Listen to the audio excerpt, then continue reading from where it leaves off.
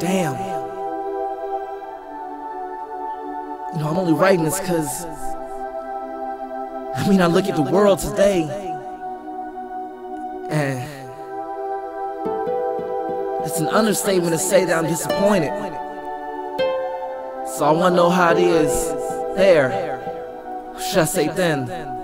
They called us crazy from the start. They never understood us, slapped the label on us and shipped us out to face the music ignorant. Do you hate them too, these beings without a clue? Tell me, have things changed in 2022? And be with me, cause I don't see how it could be. They judge us, they don't trust us. What's the issue? Well, you see, it's the fact that we are we. Well, I am, but are you? Nihilistic thoughts, they drive me. Wheels rust, do yours still move? I'm curious, cause I wanna know what to do. Should I give up and say fuck it? Drop my mic and mute the truth? Do I let them know? Do I dare to dream of speaking against the institutions that says different is stupid? Here they call us a nuisance. They say we should shut up, conform, and follow the flow. Well, my flow only travels up, and at the top the is colder. So I wanna bring the heat exponentially at around three or four degrees. But maybe I won't get the chance, or maybe I'll just fail, or maybe the world ended next year in 2012. Either way, I wanna know. Either way, I need to know. I'm getting so antsy, I'ma lick the fucking cell.